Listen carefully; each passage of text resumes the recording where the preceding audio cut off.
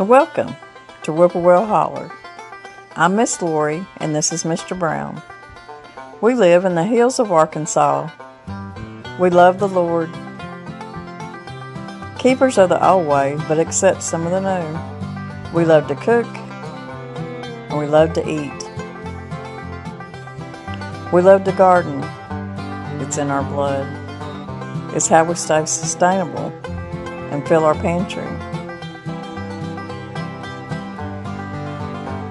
We do a lot of canning and preserving. We live a sustainable life. We love our family.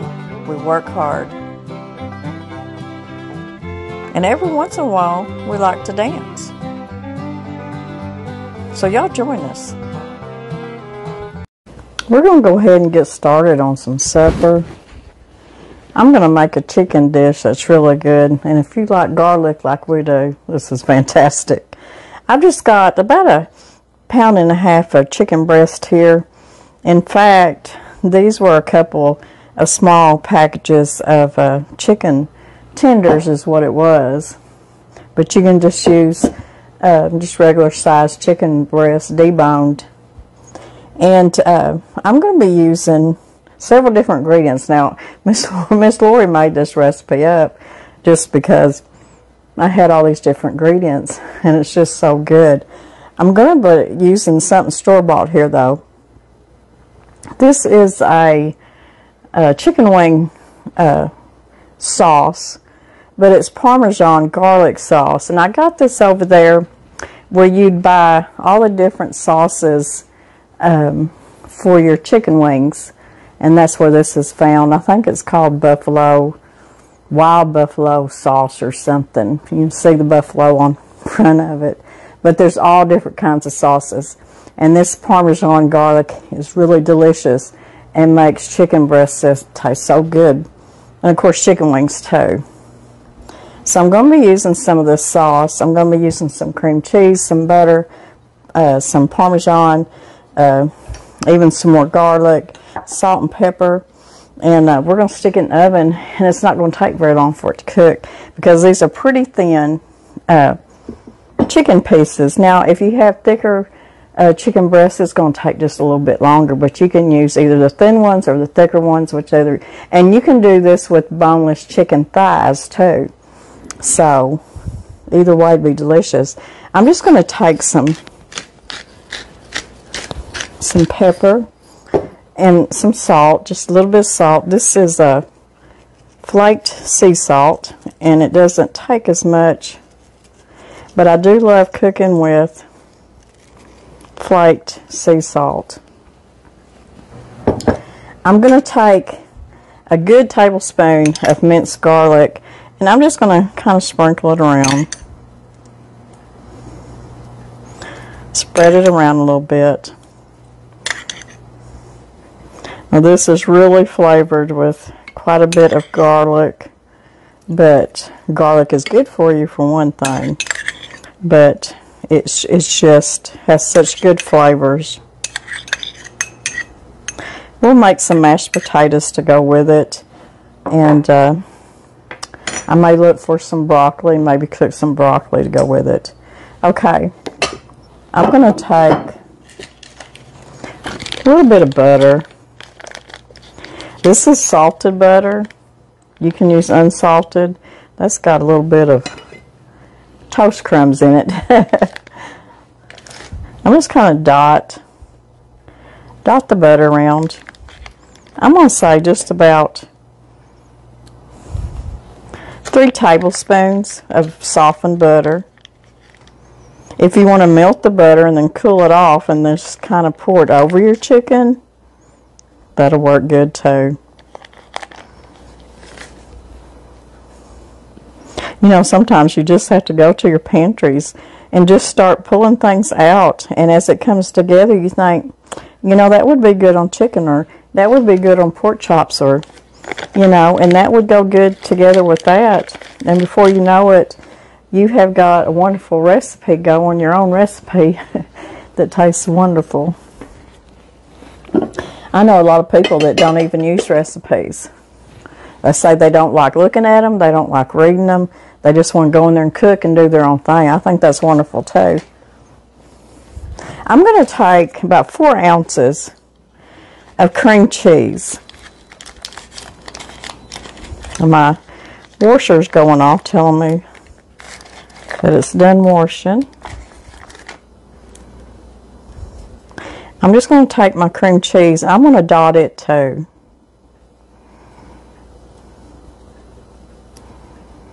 I've been getting out a lot here the last couple days. It has been so beautiful outside. Um, my last video, I was telling y'all that my daughter had neck surgery. She had a pretty good sized cyst taken off, and when they went in there, they, they seen that it was attached to several more places than what they thought. And it, it's taken her a little while kindly to recuperate from that surgery. But she is doing better. Of course, we're still in school, so, you know, it's just all them busy things. So we got our cream cheese on top of that. Now I'm going to take my uh, wing sauce, which is called Parmesan, Parmesan garlic.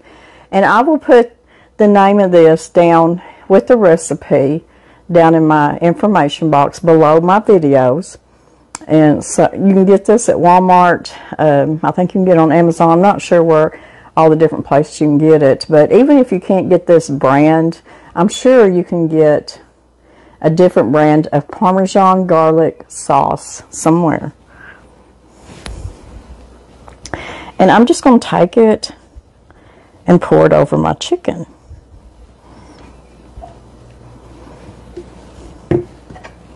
You don't have to use the whole bottle. I think half of the bottle's plenty. And really and truly, I've probably done this backwards. You need to smear the dressing on or the sauce on and then do your cream cheese. But it's going to work either way.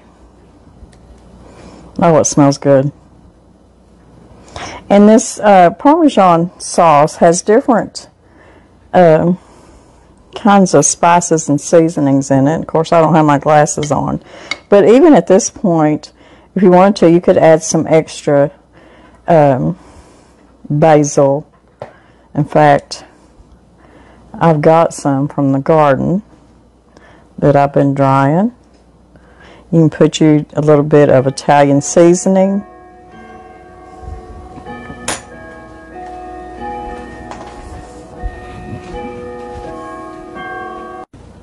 Now I've got some of this, I went and got some of my purple basil that um, came out of the garden just uh, probably about a week ago.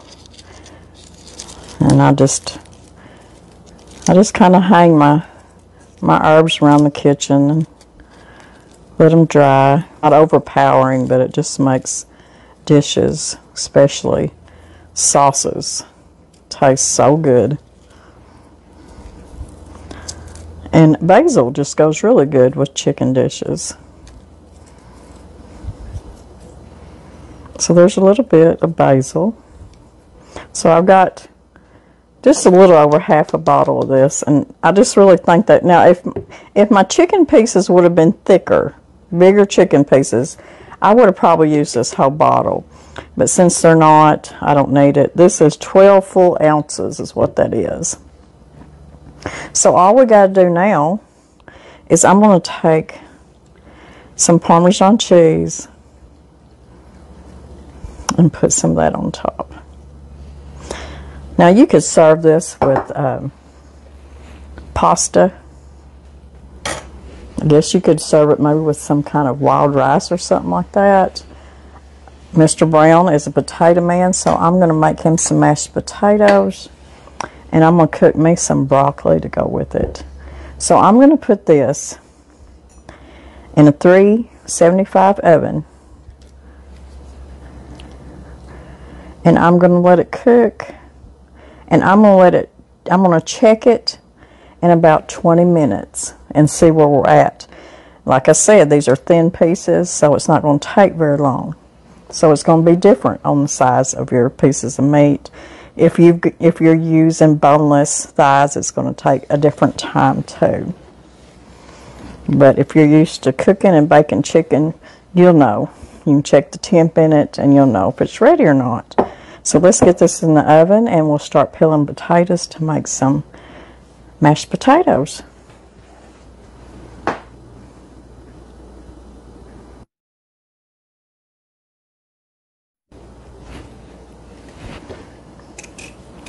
When I cook potatoes for mashed potatoes, I always cook up a bunch.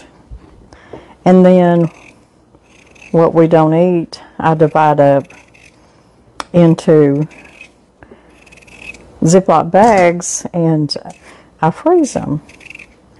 That way when I come into work during the weekdays, if there's a recipe or just something that we're having that night that I need mashed potatoes, all I have to do is the night before is take them out and put them in the refrigerator and they thaw out. Now, if I forget about them, I just uh, take them out of the baggie and put them in the in the microwave for just a little bit. They'll thaw out pretty quick. I do rice that way too. I don't just make a little bit of rice. I make enough rice to put in baggies flatten them out, and then I'll just stack them in my freezer. Anything like that just to help me out.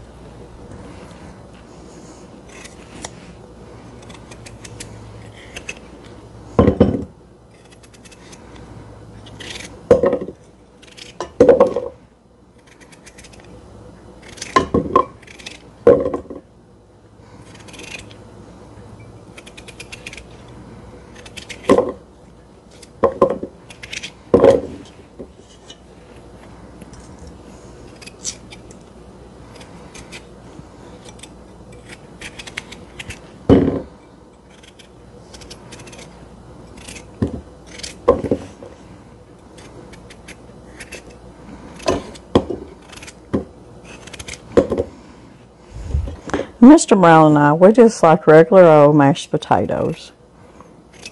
We don't like a lot of different things put in them. Sometimes when I'm boiling them, I'll throw some minced garlic in there with them. But since we're having so much garlic on our chicken, I'm not going to do that tonight. So all that I use is salt and pepper, butter, and uh, warm milk. Just simple old-fashioned mashed potatoes.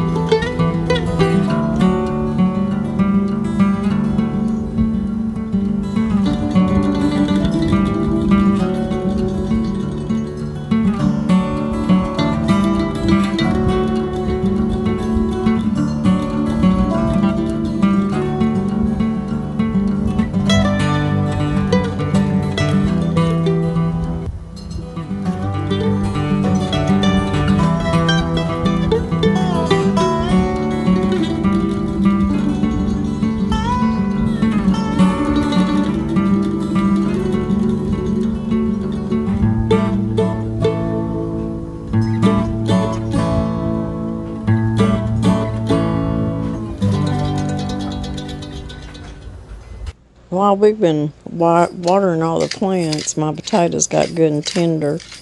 So I drained them. And now we're just going to put a little bit of pepper. I'm going to put a little bit of salt. And y'all season this to your taste. I'm going to put a whole stick of softened butter. And I warmed up some milk. But first I'm going to go ahead and I'm going to mash my potatoes with the butter. Get them started with my hand masher. I just soon do it just like this. I don't I don't get out my electric mixer or anything. I'm going to put just a little bit more pepper.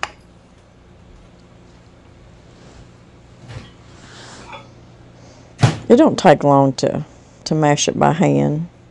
But if you want to get your electric mixer out, you can. I've got some warm milk. I usually uh, warm up at least a cup. You never know how much it's going to take. It just depends on how many potatoes you cooked. And I just continue to mash them and pour a little bit more milk in it till it gets to the creamy consistency that we like.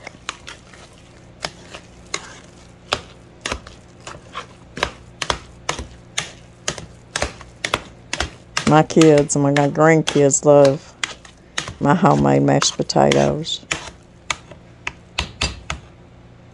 I'm to pour just a bit more milk in there.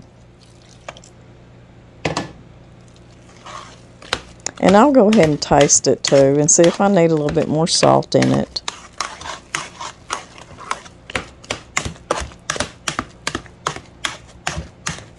We just like our mashed potatoes, just simple.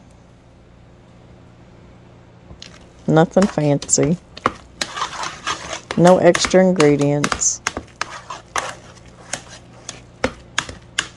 And they're getting there. They're getting to that right creamy consistency that we like.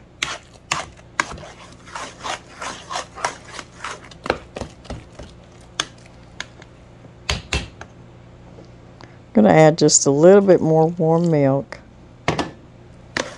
Now some people like to add sour cream or cream cheese to their mashed potatoes, but we just we just don't care for that.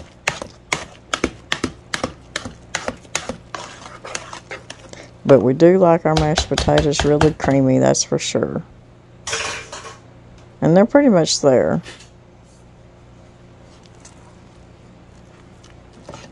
Creamy, buttery mashed potatoes.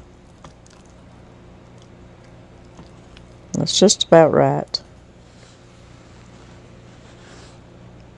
Our chicken's done after 30 minutes. And let me tell you something. This stuff is delicious. Y'all have got to try this recipe. This has become one of my favorites. That certain Parmesan garlic sauce is the bomb. It is really good stuff. Plus adding all your other ingredients. So these are red rippers. Are they cream rippers no. or are they just red rippers? Red ripper peas. Peas that Miss Tina give us. They're coming up. And this is what this looks like. I think it's going to make some good dirt eventually. That is.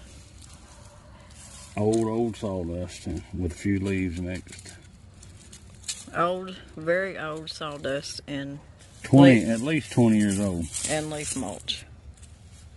I mean, it's got moisture down in there deep. Look at them, look at worm. Yeah, you'll find a bunch of them in there. I just dug up that worm. Is he dead? Might cut him in half. that part of him will make it. They're in there working, and that's good. Um, yeah, I think your peas are coming on up because all the way down through here. And there's the green peas. All the way down through there. I think I did all except we're at the very end of that row, and there's some of them coming up down there. These are your red, red ripper peas. A lot of y'all probably know exactly what we're talking about. Our friend Tina Simpson was at her house getting milk one day, and she gave Danny a bunch of peas. To pull them off. They were dry. They were dry. So they're planted all the way down through there. And then there's some planted up here. And then up here are green peas. They come up. Y'all mm. see me planting these on my hands and knees. And we got Bermuda grass coming up. And we got Bermuda grass coming up. I despise it. We can grow good Bermuda grass around here. And then on the other side, I planted some Cherokee Purple tomato seeds. Some of them come up, and it looks like he's got some planted down on the other side of this fence row. That's his favorite tomato.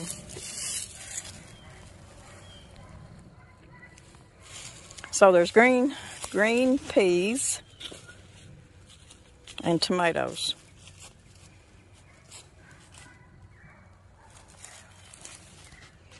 And there's red zipper peas.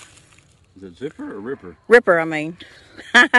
now there are zipper peas, so you call them what you want. Ripper. Red rippers. This is going to be future squash and okra squash and okra down through here.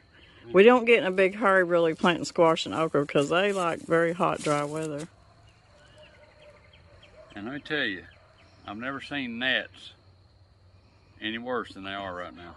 We're going to put just, some peppermint oil in your earlobes. just cover, covering my face. Yeah, it makes it kind of miserable out here.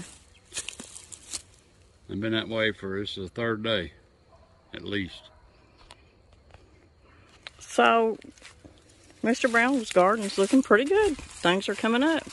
He's still got a few things to plant out here, but between the potatoes, the grass is growing. The grass is growing. His ripper peas, his green peas, his tomatoes. And we, I put up fence. I got. Yeah, he's put up. I put up to keep the rabbits out. Fence to keep the rabbits out and the armadillos. The armadillos got in here last year and dug up every one of my squash and zucchini plants that were planted down through there. Pretty plants, too. Big, pretty plants. And he got in here and dug them plumb from the... Rooted them up like a hog. Yeah, like a hog, looking for grubs. So anyways, we got pretty decent fence around here now. Maybe keep them out. Keep the squirrels, but it'll keep the rabbits, hopefully. Well, I ordered me a couple of hoot owls. I don't know if they'll keep squirrels out. They will keep rabbits out. You give these red ripper peas another week with sunshine and good weather, they're really going to grow. I hope they do. And that grass being there no drives you crazy, but it really don't hurt anything because it's helping keep nutrients and moisture in that ground. When you rip all that out, just like the desert, you lose moisture and you lose nutrients. Like he just don't like it. he can't keep it out. That's why a lot of people do no-till. Because any ground that you just wipe out and just just dirt and sun all day long on that bare dirt, it sucks the nutrients and moisture out of it. Even though we don't like grass in here, but year four last I grew quite a few um, Long Island cheese pumpkins in here. And the grass was about ankle deep. And they thrived in that. They absolutely thrived in that grass.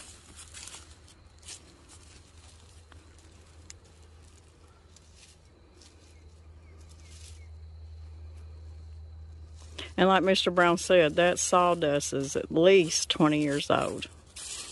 You can't use, go and get one, two year old, even five year old probably sawdust, right? Yeah, you can't. It takes sawdust, especially if it's very deep. It takes a long time to ever, because it, it goes through the heat for years. You can take an old sawdust pile that's been there for years and go out there in the wintertime and dig it open and it'll just steam or roll out of it. It goes, takes it a long time to settle down. Now you could put it in smaller piles and wouldn't take as long.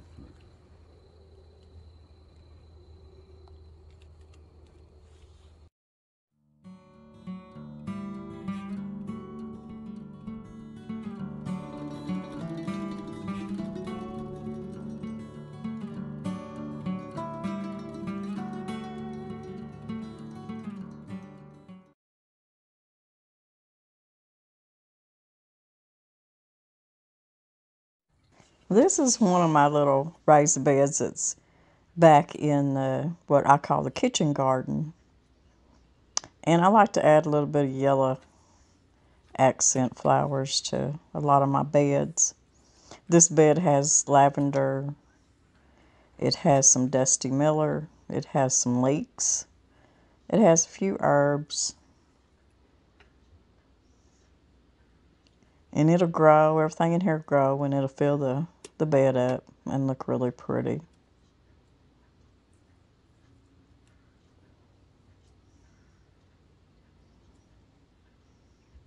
But this is where I like to be most of the time. Never in a hurry. Just taking my time, enjoying myself, getting my hands in the dirt.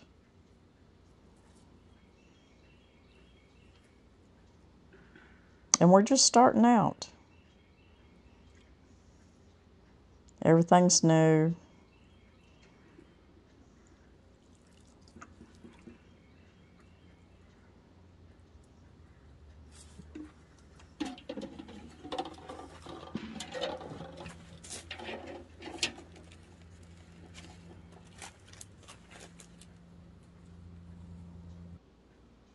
And this is my cabbage. And what I'm going to do is I'm fixing to, I'm going to fertilize them and then I'm going to put some uh, mulch around them, some straw that I bought. Here's a couple cabbages and these raised beds. And back there, of course, is my green peas. Y'all seen them a hundred times, I think. But they just keep a growing. They should start blooming here pretty soon. And this right here is a young muscadine vine. That little chicken house pen back there is just where we keep new new uh, young chickens when we get them before we put them in the hen house. This down here is, uh, I threw some spinach seeds in there and they're coming up. I planted some garlic and some different things in there. If you make your trellis, then peas, they'll find a way. They'll, them little tendrils will just catch on and just hold on and just keep it climbing. I really hope they start blooming pretty soon too.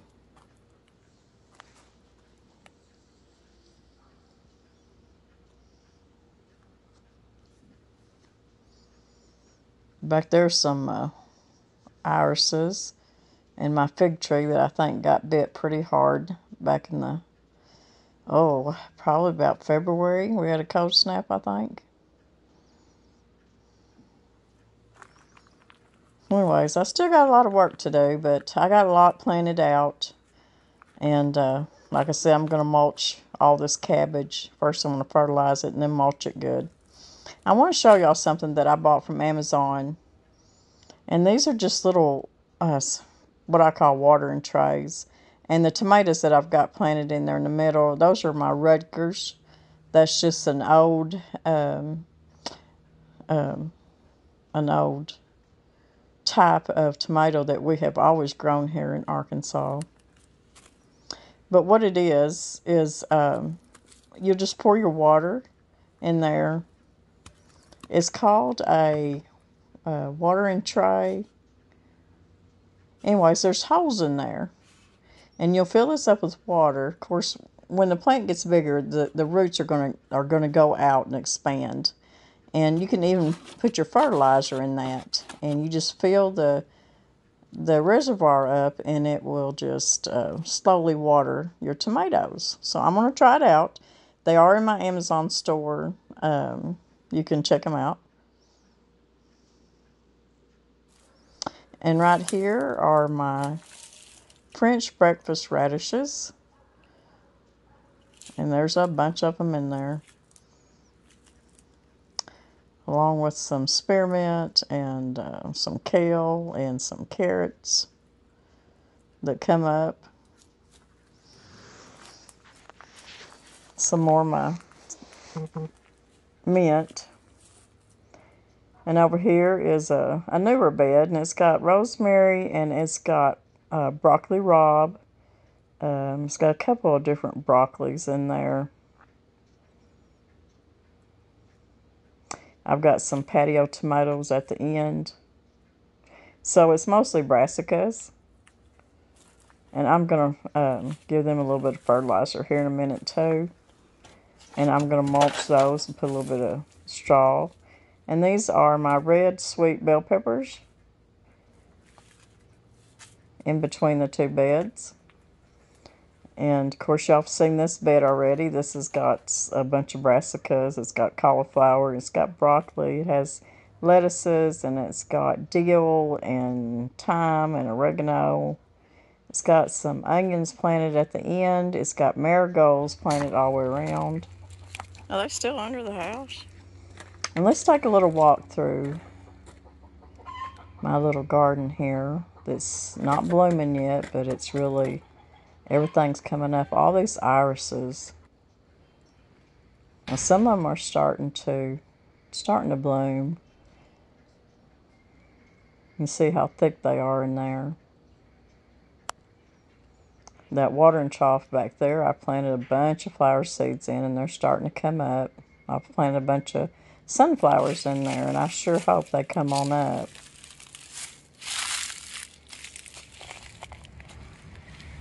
This was the uh, the little garden I planted for my friend um, that passed away from Australia. And I've been trying to keep up with it. Her name was Adele. I still got uh, a bunch of perennials that should be coming up and blooming. Give them another month or so. I do want to plant some more perennials out here. I love hostas. My little bridge just got little violets growing up, wild violets growing up in between the, the cracks. My little fisherman boy. But the irises just keep getting thicker and thicker and thicker. I'm going to have to, I guess, start digging some up. Tell you what, the mosquitoes are bad. I just hate to mess with them, tell you the truth. They look so pretty when they really all start blooming.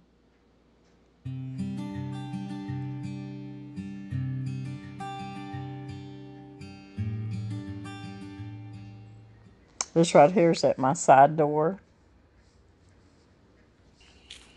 I want to show y'all something. We're going to go around the side of the house. I want to show y'all my lights. I wanted to show y'all my lights in front of the house.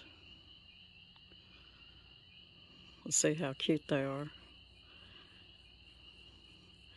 Looks like little lightning bugs or little fairies flying around. Solar. I got them on Amazon. They're in my Amazon store. You get two to box. I just love them. They really light the place up and look really good at night. Back there in them little troughs is where my elephant ears, my big elephant ears will come up. And those lights will look really good around them elephant ears.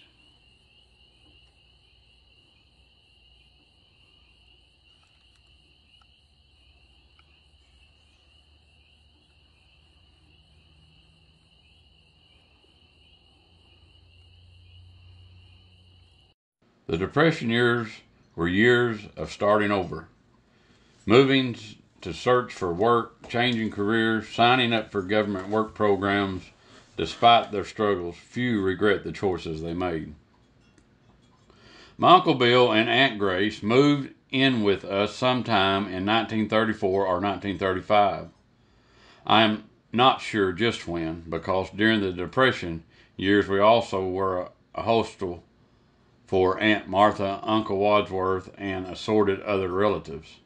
Not all at once, but one bunch moved out, another one in on their heels, moved in on their heels. They they were all with us for one simple reason no work. And if you didn't have work, you couldn't pay the rent. And if you couldn't pay the rent, you looked for relatives who would take you in. Uncle Bill had come to the United States from Germany sometime after World War One. He had sporadically attended art school in Chicago before marrying my mother's sister, Grace. Even in the best of times, employment as an artist can be a dicey thing. During the Depression years, it was hopeless. So finally, they moved in with us. The major employer in our little northern Illinois town was a steel mill. Certainly an oddity for what was mostly a farming community. If there was work to be found, the best bet was at the mill. So for that, for more than a year, Uncle Bill got up early every morning, walked three miles into town, and joined a near endless line of men, all hoping for employment. Now repeat this picture in every town and city of any size across America, and you have some idea of what the Great Depression was all about. Day after day, you stood in line hoping someone would open the door and announced that two or three jobs were available. The lucky ones at the front would rush inside, and the hundreds of other heads down and shoulders bent would start the slow walk home again. There was no unemployment benefits and no unemployment offices. Going on welfare was dreaded more than going hungry, and it was a large step below working for the WPA. Just in case you weren't there, the WPA was Works Progress Administration one of the alphabet soup agencies created by Roosevelt administration to provide jobs. Like most such programs, the WPA came in for much scornful criticism. WPA workers were called shovel leaners, and the agency's initials were said to, to mean we putter around. But at least the, the needy did useful things in return for some substance money. There was another problem. When we have lots of people competing for working conditions, when we have lots of people competing for very few jobs, and the employer in the driver's seat as far as hours, wages, and working conditions are concerned. So those fortunate enough to have jobs worked long hours for low wages, often under miserable conditions. Assembly lines were sped up and with accelerated again and again. On the job, accident rates soared. An acquaintance tells of complaining about the speed ups to his foreman in the auto plant where he worked. The foreman led him over to a window, pointed down to 2,000 men standing in line waiting for a job, and said, If you don't want to work, any one of these men will gladly take your place. In case you ever wondered about what fueled the Union movement, with its strikes and sit-ins and violence, there was a good an answer as any. Yes, it was a different time. People didn't want handouts, they wanted to work. To be unable to support your family was an ultimate indignity. We've been through recessions and economical downturns many times since but there's been a difference. These days we turn for help to the government. There were no safe there were no safety nets during the Great Depression, so we turned to our families, and mostly the door was always open. Well, I hope y'all enjoyed this video, and I hope y'all enjoyed Paul's reading of the Great Depression again. and we plan on doing a lot more too. Uh, maybe that can be one of our Friday, one of our Friday things of maybe doing a reading. Not even just about the Great Depression, but just we've got so many books and stuff to share with y'all, and I know y'all like that, so that might be kind of fun too. Um, we've been getting a lot of gifts and stuff in the mail, and we want to thank y'all a lot for that. We've been getting homemade gifts. A lot of work has went into. We've been getting photos and pictures and uh, stuff for the kitchen. And Danny got a new coffee cup. And we have met several new channels too. Um, that uh, I think that I'll put a link to some of their channels too down below in my information box. And I want y'all to go check these channels out. These are some very kind folks and uh, um, I just want to share them with y'all. So we have been busy this week and I hadn't had a video put out. So I kind of made this one a little bit long because we love spending time with y'all. But uh, we've just been working and, and taking care of people and uh, trying to do some gardening. And we got a lot of the gardening we don't like much. I think all we like is maybe a little okra and just a few things like that. And uh, so we about got it done. And we're supposed to be getting some rain, and I hope we get some rain on the garden this weekend. I hope we don't get no more storms, that's for sure. So if y'all haven't subscribed, please subscribe to our channel. Hit that them thumbs up. Give us a like. A lot of people have been saying, Miss Lori, when I hit that like button, it's not it's not showing that we liked you. well, it really does, because me and Mr. Brown can see it, and YouTube can see it. And uh, I think it's just something that uh, that we just kind of keep kind of private, you know, just certain things like that. And that's just one of the things we like to keep private. But please hit that that like button because that's what really helps us and we appreciate it. And like I said, we see every one of them. And to y'all that clicked on that super thanks, and um, have uh, just helped us with your blessings of giving. It does help our channel so that we can be here just a little bit longer with y'all and keep this going as long as we can. And we want to be here a while with y'all, so we appreciate that. So we'll be back in a couple days. Not sure what we'll be doing. But we'll be doing something. We'll be, we'll be doing something, I guarantee you. Be sure and hit the notification bell. Oh yeah. Um, I'm afraid that some of y'all that's been subscribed to us for a while are not getting the notifications. So go back to the homepage at Whippoorwill Holler and uh, just make sure you're still subscribed and, and hit that notification bell and make sure you hit the notification bell that says all, that you get all the notifications. And like I said, if you haven't subscribed, just go to our homepage and subscribe. It doesn't it doesn't cost nothing and it gives you uh, supposedly supposed to tell you anytime we put a video up. So we'll see y'all, and y'all have a beautiful, blessed weekend. Y'all be careful, and we love y'all very much.